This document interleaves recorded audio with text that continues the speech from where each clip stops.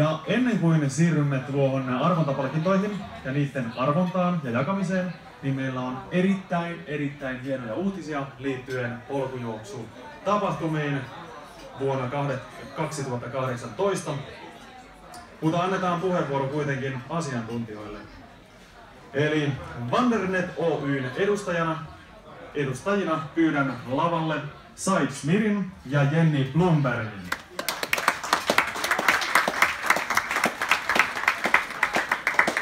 Ja puolestaan sitten valmiiksi voin tästä Trail Tourin puolesta ottaa edustajat lavalle. Eli Eero Lumme ja Heikki Hamunen. Eero.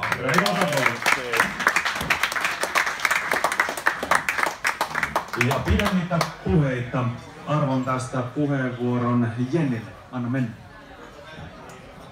Terve kaikille!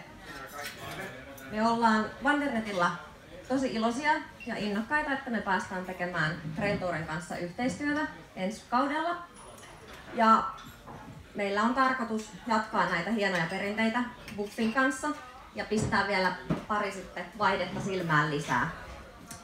Ja uutena Buffin edustajana Suomessa me ollaan tosi tosi tyytyväisiä, että me päästään tekemään tätä yhteistyötä ja tuodaan sitten tähän myöskin muutama, muutama merkki lisää. Eli tota, ensi kaudella niin me ollaan kaikissa kisoissa mukana myöskin Camelbackin, Betslin ja Bridgedalein kanssa. Eli toisin sanoen tuodaan sitten nesteytysratkaisuja, otsavalaisimia ja sukkia teille. Eli lisää mielenkiintoista kamaa ja niiden testausmahdollisuuksia.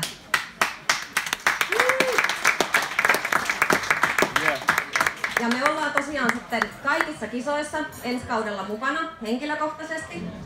Eli meidänkin puolestani tervetuloa mukaan myöskin sitten ensi kaudella, eli toisin sanoen Tourilla nähdään myös ensi vuonna.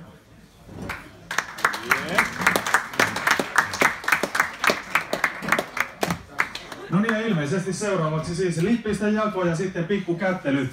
Siinä kätellään virallisesti tämä yhteistyökumppanuus, paperihommia sitten ensi viikolla ja sitten aletaan jo suunnitella ensi vuoden hienoja tapahtumia, polkujuoksutapahtumia. Jännityksellä odotan, mitä uutta sitten ensi vuonna nähdään. Ja muistan mainita, että karhun kierroksen ilmoittautuminen alkaa tiistaina. Aivan, ja täältä tuli pikku vinkki, että karhun kierroksen ilmoittautuminen alkaa tiistaina. Hyvä, hyvä, otetaan roikuvat aplodit vielä kerran ja sitten päästään tuohon huikean jännittävään arvontaan. Kiitoksia edustajat teille. Ja no niin, sitten aloitetaan tuo arvonta, jossa todennäköisyys voittaa jotain on äärimmäisen suuri.